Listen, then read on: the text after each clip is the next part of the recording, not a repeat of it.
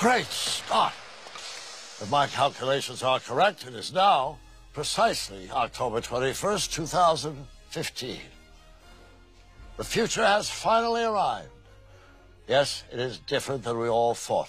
But don't worry. It just means your future hasn't been written yet. No one's has. Your future is whatever you make it. So make it a good one.